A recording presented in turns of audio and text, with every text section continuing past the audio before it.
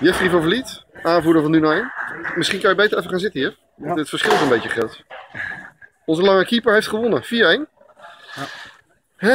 Ja, laat ik maar vragen, hoe, hoe voelt dat nou, Jeff? Eh, opgelucht. Helemaal naar die, eh ja, naar die vroege tegengoal. Terwijl je eigenlijk zelf op 1 of 2-0 moet Ja, komen. het was een beetje op zijn duno's, of niet? Ja, iemand anders koos dat ik hem moet hebben, zeg maar. Ja, En daar reageert eh, ja, mijn verdediger op. En die laat hem dus gaan. Maar eh ja, pakken ons gelukkig goed. Dus, 2-1 voor rust, 4-1 eh, eind. ja, Tijd geleden, hè? 4-1. ja, dat kan je wel zeggen, ja. Dus mogen we even van gaan genieten. En dan, Ja, eh, want eh, zegt dit iets verder? Of eh, moeten we nu... Het is belangrijk dat je je eerste wedstrijd sowieso wint. En je geeft ook gelijk een signaal af naar de rest. Omdat je het overtuigend doet. Maar ja, we moeten gewoon wedstrijd op wedstrijd. Oké. Tijd geleden dat je kon eh, glimlachen een wedstrijd. Ja, nou, dat kan je wel zeggen. Dan, dan leggen we die even vast.